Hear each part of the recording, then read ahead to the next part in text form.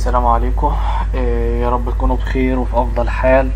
آه، كل فيديو من الفيديوهات اللي إحنا بنشرحها بخط الايد في ال endocrine هنبدأ آه، نراجعها سريعا على PowerPoint بالنسبة لل chapter بتاع ال introduction اتكلمنا عن إن إحنا بنتكلم عن غدد ال endocrine gland في الجسم أنواع كتير منها ال master gland أو ال major endocrine gland اللي إحنا بنتكلم عنها ال master gland اللي هي ال pituitary gland وعندي بعد كده هنبدأ ندرس thyroid و parathyroid وهنبدأ ندرس ال adrenal gland والبنكرياس وهندرس ال gonads. عندي اتنين غدد مش هندرسهم اتنين آه صغيرين آه اللي هو ال pineal gland وال thymus gland. فديت ال major endocrinal gland اللي هتدرسها خلال المنهج بتاعنا. الحاجة اللي بعد كده ال endocrine system اللي هو عبارة عن gland and other organs إحنا اتكلمنا في الحكاية ديت ان قلنا الفرق بين ال endocrine gland وال endocrine system. endocrine gland يعني غدة كل وظيفتها فقط لا غير هي عبارة عن إفراز هرمونات. ده بالنسبة لكلمة endocrine gland. هل في organ لها وظيفة آه غدية تقدر تفرز هرمونات بالإضافة لوظيفتها الأساسية؟ آه القلب بيفرز hormones ال kidney بتفرز hormones ال liver بتفرز hormones. فديت قصده بيها ال other organs اللي لها endocrinal activity فبالتالي ال endocrine system بيشمل الاثنين ال endocrine gland اللي هي فقط لا غير إفراز فقط وال other organs اللي هي لها الوظيفة الأساسية وبالإضافة إلى إنها ممكن تفرز مين؟ هرمونات. ال endocrine system control ليه دور في ال control وال regulation بتاع ال different body function خلال افرازه لمين للهرمونات. ده بيحصل along with أو parallel with بالتوازي مع ال nervous system. ال endocrine system مع ال nervous system الاتنين إيديهم في إيدين بعض علشان يعملوا حاجة اسمها neuroendocrine interaction اتحاد مع بعض يمسكوا إيديهم في إيدين بعض من أجل ال control وال regulation بتاع اللي هو مين؟ ال body function ال endocrine system الشغل بتاعه يتلخص إن هو بيساعد عن طريق الهرمونات اللي بيطلعها. ال nervous system بيساعد عن طريق طلوع ال neurotransmitters وال nerve impulse اللي يقدر يعمل لها آه طلوع. يبقى إحنا اتكلمنا عن إن ال endocrine system وال nervous system الاثنين اهمت ال nervous system عن طريق إيه؟ بيشتغل عن طريق ال electrical signal وال chemical messenger اللي هو ال neurotransmitter. أما هنا بيشتغل عن طريق مين؟ عن طريق ال chemical messenger اللي هو ال hormones ال action بتاع ال nervous system أكيد سريع وطالما هو سريع ال effect بتاعه بيكون short term effect العكس هنا هنا بيكون بطيء وبالتالي بياخد فترة طويلة long standing effect اتكلمنا عن الفرق بين ال endocrine المفروض نكتب دي endocrine سيست endocrine gland و exocrine gland ال endocrine gland قصده بيها اللي هي ملهاش duct أما ال exocrine gland لها duct. دي تصب الإفراز بتاعها مباشرة في الدم. ديت بتصب الإفراز بتاعها عن طريق duct بتروح ل adjacent location لأماكن قريبة من خلال ال duct. أما ديت بتمشي في الدم وتروح ل non adjacent location بتروح لأماكن بعيدة. ال major endocrine gland اللي إحنا لسه شايفينهم في الرسمة وقلناهم out of this gland مين الأهم؟ ال anterior pituitary مهمة وال parathyroid وال adrenal cortex مهمين على عكس الباقي. الحاجة اللي بعد كده لما نيجي نتكلم عن ال organ with hormonal أو endocrinal activity لسه قايلينهم some organ بعض الأورجان زي ال hypothalamus زي ال liver زي ال kidney زي ال heart زي ال GIT لهم special cell سواء كانت endocrine أو neuroendocrinal cell endocrine زي مين؟ endocrine زي في ال liver وال kidney وال heart neuroendocrine زي في ال hypothalamus اللي عندي. كل دوت لها القدرة إن هي تطلع هرمونات بالإضافة للوظائف التانية والرئيسية للأماكن دي. هل ال liver بيشتغل كغدة فقط؟ لا. هل ال kidney بتشتغل كغدة فقط؟ لا. هل ال brain بيشتغل كغدة؟ لا. هو بالإضافة للوظيفة الأساسية بتاعته ليه وظيفة هرمونية إن هو يقدر يعمل secrete لل hormones. ال endocrine gland such organ الاتنين دولت مع بعض بيكونوا one system ال one system ده بسميه ال endocrine مين؟ ال endocrine system زي ما إحنا قلنا. الهرمون وال receptor وال target cell ال hormones عبارة عن chemical substance أو chemical messenger ده بتطلع in minute amount بتطلع بكمية صغيرة جدا بتتقاس بالنانو جرام أو المايكرو جرام كمية قليلة جدا ومع ذلك بتؤدي الوظيفة بتاعتها. endocrine يعني ductless gland هتمشي خلال ال blood stream تروح لأماكن قريبة ولا أماكن بعيدة؟ تروح لأماكن بعيدة non adjacent target organ هي هتروح للعضو المستهدف. ليه؟ لأن ال target organ هيكون عنده specific receptor ال specific receptor ديت موجودة يا إما على ال plasma membrane أو within the cytoplasm جوه السيتوبلازم وممكن يكون آه على النواة كمان عشان تعمل ال response بتاعي. ال exocrine gland not part of ال endocrine system مش جزء من ال endocrine system هي gland لها ال duct وال duct بتاعتها بتصب الإفراز to adjacent لأماكن قريبة زي ال sweat gland الغدد العرقية واللعابية وال digestive gland الغدد بتاعت مين؟ الجهاز الهضمي كل ده أمثلة لل exocrine gland زي ما إحنا شايفين فكرة مين؟ فكرة شغل الهرمون. الهرمون ماشي في الدم اهو. يطلع من الغدة ال secreting cell اللي هي الغدة. الغدة بتطلع الهرمون يمشي directly في ال blood stream علشان يروح لل target organ كل هرمون عنده ال receptor الخاصة بيه. الهرمون هيبدأ يمسك في ال receptor اللي موجودة على آه سطح الخلية أو موجودة جوه السيتوبلازم عشان يعمل اللي هو ال response اللي أنا عاوز أعرفه. ال chemical structure بتاع الهرمون ال hormones ممكن أقسمها ل two main classes على حسب ال chemical مين structure hormone derived from amino acid اللي هي ال mono amine جاي من حمض أميني واحد أو اللي هي جاية من ال peptide ومين وال lipid إيه وممكن يكون في glycoprotein الحاجة التانية جاية من الكوليسترول زي الاسترويد التقسيمة ديت مش موجودة عندكم في الكتاب وأعتقد أنا شرحتها آه في الورق ويكتبوها. الحاجة اللي بعد كده لما نيجي نتكلم بقى عن ال mono amine. ال mono amine يعني جاي من حمض اميني mono يعني واحد من 1 amino acid زي السيروكسين اللي هو T 4 وال triiodothyronine اللي هو T 3 الاثنين دول جايين من ال thyroid gland وزي ال catecholamines زي ال adrenaline وال noradrenaline الاثنين دول جايين من ال adrenal medulla كلهم جايين من حمض اميني واحد اللي هو مين ال tyrosine. ال tyrosine ده أقدر أجيبه منين؟ أقدر أجيبه من خلال ال diet أو أقدر أصنعه في الجسم أو أقدر أجيبه من خلال الفينايل ألانين. اكتب إن أنا أقدر أجيبه من خلال الفينايل ألانين عن طريق ال hydroxylation في ال liver. أعمل له hydroxylation في ال liver ال phenylalanine بال hydroxylation في ال liver يقدر يتحول لمين؟ يقدر يتحول لتيروزين.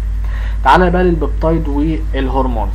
most الهرمونات عبارة عن peptide ممكن تكون short chain amino acid زي ال antidiuretic hormone وال oxytocin الاثنين هرمونات ال hypothalamus الاثنين هرمون دولت peptide عبارة عن 9 amino acid أو ممكن يكون بروتين ده جاي منين؟ long chain amino acid زي ال growth hormone 191 amino acid زي البرولاكتين 199 amino acid زي ال parathyroid hormone 84 amino acid وهكذا ده بالنسبة لمين؟ لل mono amine وال peptide والبروتين. عندي glycoprotein نركز على ال slide ديت مهمة. آه في آه مجموعة من الكربوهيدرات تقدر تتحد مع البروتين. فتكون حاجة اسمها glycoprotein hormones الأمثلة بتاعتهم ال TSH وال GTH يبقى ال TSH وال GTH اللي هو قصده بال FSH وال LH الثلاثه دولت عبارة عن glycoprotein hormone وبتجيبهم في الامتحان. ال steroid hormone كلهم جايين من الكوليسترول كلهم derived من الكوليسترول. طبعا دي هرمونات ال adrenal cortex وهرمونات ال gonad وهرمونات ال placenta. طيب عندي حاجة اسمها prohormones. prohormones الهرمونات أغلب الهرمونات ال peptide والبروتين most of ال protein hormone بتتصنع في صورة inactive biologically inactive يبقى بسميها inactive prohormones. لما تيجي تبدأ تطلع لل blood stream يبدأ يحصل لها cleavage عشان تتحول لمين؟ لل active hormones prior to قبل ما يحصل لها release للدم مباشرة. المثال بتاع ال proinsulin ال proinsulin ده بيكون آه في الأول أربعة polypeptide chain بعد كده في ال endoplasmic reticulum يبقى ثلاثة بعد كده يروح الجلج يبقى اتنين يبقى ال active اللي هو الانسولين اللي يبدأ يطلع مباشرة للدم ويحصل الشغل بتاعه. السنسز والستورج والريليز بتاع الهرمونز إحنا اتكلمنا على الموضوع ده برضو بالتفصيل ال peptide والبروتين بيتصنعوا في ال rough endoplasmic reticulum طالما قلنا كلمة بروتين يعني ribosome وال ribosome بتبقى متحدة ومتجوزة ال endoplasmic reticulum يبقى ال synthesis من ال rough endoplasmic reticulum تتنقل لل Golgi apparatus عشان تتعبى في vesicle تطلع في secretory vesicle تتخزن في السيتوبلازم لحد ما أبدأ أحتاجها أبدأ أطلعها للدم. على عكس ال steroid hormones ديت كلها مشتقة من الكوليسترول بمجموعة من التفاعلات في السيتوبلازم والميتوكوندريا. الشغل بتاعها بيحصل بالتصنيع بتاعها بيبقى سريع فبالتالي مش محتاج إن أنا أخزنها ما بتتخزنش. once synthesized تبدأ تطلع للدم تقوم بالشغل بتاعها. احتاجتها في أي وقت أقدر أصنعها بسرعة جدا وبالتالي آه تقوم بالشغل بتاعها من غير ما أنا أكون محتاج إن أنا أصنع. ال control بتاع ال hormone secretion ده مهم. ال control بتاع ال hormone secretion واحد ممكن يكون هرمونات تحت تأثير ال nervous system زي هرمونات ال adrenal medulla ديت ال adrenal medulla أصلا اسمها modified. ال adrenal medulla بتساعد اللي هو ال sympathetic nervous system الجهاز العصبي السمبثاوي يعني لها علاقة اللي بيجيب لها الإشارة اللي هو direct nervous stimulation فال adrenal medulla ماهيش تحت تأثير الغدة النخامية هي تحت تأثير اللي هو ال nervous system. الحاجة الثانية ال change في ال blood concentration بتاع الهرمونات دي هرمونات البنكرياس وال parathyroid هرمونات البنكرياس اللي هو زي الإنسولين الإنسولين بيطلع آه نتيجة إن ال blood glucose في الدم قليل يبقى على حسب ال concentration بتاع الجلوكوز. ال parathyroid بيشتغل على الكالسيوم يبقى على حسب مستوى الكالسيوم في الدم. لو مستوى الكالسيوم في الدم قليل يبدأ يطلع ال parathyroid hormone. يبقى البنكرياس وال parathyroid ما همش تحت تأثير مين؟ ال pituitary gland يبقى في ثلاثة ما همش تحت تأثير ال pituitary ال adrenal medulla والبنكرياس واللي هو ال parathyroid الثلاثة ده همت ما همش تحت تأثير ال pituitary في منهم واحدة تحت تأثير ال nervous system واثنين تحت تأثير اللي هو ال change في ال blood concentration أمال مين اللي تحت تأثير ال pituitary الثلاثة التانيين اللي هو ال thyroid وال adrenal cortex وال gonad دولت بيجي لهم stimulation عن طريق hormones من الغدة النخامية. ال hormones دي بسميها tropic hormone يعني إيه كلمة tropic hormone يبقى هرمون بيعمل stimulation ل another hormone. يعني هرمون طالع من الغدة النخامية يعمل stimulation لل thyroid عشان تطلع هرموناتها لل adrenal cortex عشان تطلع هرموناتها لل gonad عشان تطلع مين؟ هرموناتها. عندك المثال بتاعه أهو في حالة مين؟ في حالة ال cold exposure هيبدأ يحفز ال hypothalamus ال hypothalamus تطلع ال TSH ال thyrotropin releasing hormone. آسف تطلع ال TRH ال thyrotropin releasing hormone. ينزل على ال anterior pituitary خلاه تطلع ال thyrotropin اللي هو ال TSH يحفز ال thyroid تطلع الثيروكسين اللي هو T 4 أو T 3 ده اللي هو ال mechanism بتاعه وأعتقد شرحناه بالتفصيل في اللي هو ال embryology. حاجة تانية عندي حاجة اسمها negative feedback يعني لما الثيروكسين يبدأ يعلى يروح لل anterior pituitary يقول لها بعد اذنك ما تطلعيش ال thyrotropin ويروح لل hypothalamus يقول لها بعد اذنك ما تطلعيش ال TRH فبالتالي المستوى بتاعهم يبدأ يقل لحد الطبيعي. ال function بتاعت ال endocrine system سواء في الميتابوليزم سواء في الجروث والديفلوبمنت في المينتنس والهوميوستيزيس في ريزيستنت للستريس للسكشوال ماتيولتي والريبرودكشن إحنا هناخد هرمونات كتير جدا كل هرمون هتلاقي فيه وظيفة مهمة من الوظائف ديت بيعملها. ال general mechanism بتاع ال hormone action إحنا قلنا الاكشن أول اكشن للهرمون إن الهرمون بيتحد مع مين؟ مع specific receptor ال specific receptor ديت على ال plasma membrane أو جوه السيتوبلازم اتحاد الهرمون مع ال receptor بيعمل حاجة اسمها hormone receptor complex ال hormone receptor complex بمجرد ما يحصل له activation يبدأ يعمل initial sequence يبدأ يعمل السيل ريسبونس الاكشن بتاع البروتين هرمون وزود الكاتيكولامين فوق في العنوان.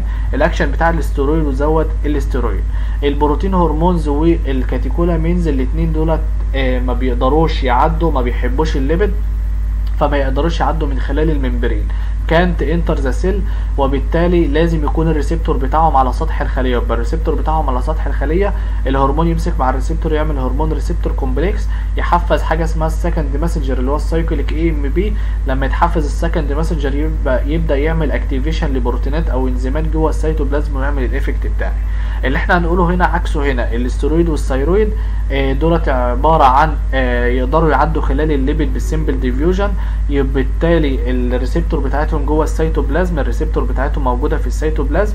يبدأ يتحد الهرمون مع ال receptor يعمل hormone receptor complex يبدأ يدخل النواه يبدأ يحفز genes علشان تطلع mRNA يحمل الشفرة الوراثية يطلع للسيتوبلازم يبدأ يحصل له ترجمة يتصنع بروتين. البروتين يقوم بالشغل بتاعي اللي إحنا ملاحظينه ان الاكشن بتاع البروتين وال catecholamine ان هما بيعملوا activation لإنزيمات. أما الأكشن بتاع الاسترويد إن هو بيعمل synthesis للإنزيم أو synthesis للبروتين. وبالتالي الأكشن بتاع البروتين بيكون سريع أما الأكشن بتاع الاسترويد بيكون بطيء.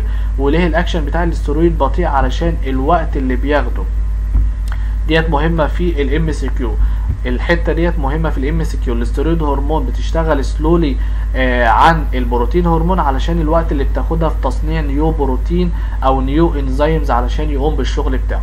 طيب إحنا لسه قايلين إن إحنا كنا بنحفز second messenger اللي هو ال cyclic AMP امال مين ال first messenger اللي هو الهرمون. لما ال second messenger يبدأ يتحفز اللي هو ال cyclic AMP أو ال cyclic GMP يبدأ يحصل ال cellular مين response زي ما إحنا شايفين ال mechanism of action بتاع ال protein hormone وال catecholamines أنا عندي ال protein hormone أو ال catecholamines هتمسك في receptor آه بره الخلية outside الخلية. يبقى hormone receptor complex يحفز اللي هو ال second messenger اللي هو ال cyclic AMP أجيب ال cyclic AMP منين؟ يبدأ يحول ال inactive enzyme يعمل لها activation ويعمل ال chemical reaction بتاعتي. اللي إحنا شايفينه برضه في ال steroid hormones وال thyroid hormones. ال steroid hormone يبدأ يعدي من خلال ال membrane هو وال thyroid هيمسكوا في receptor جوه السيتوبلازم بعد كده يبدأوا يدخلوا جوه النواة يبدأ يتحد مع ال DNA يحفز specific gene ال gene دوت أبدأ أعمل له ترانسكريبشن عملية نسخ أطلع منه ام ار ان اي الام ار ان اي يطلع من النواة يروح للسيتوبلازم يحصل له translation ترجمة يحصل synthesis تصنيع للبروتين والبروتين يقوم بال chemical رياكشن بتاعتنا.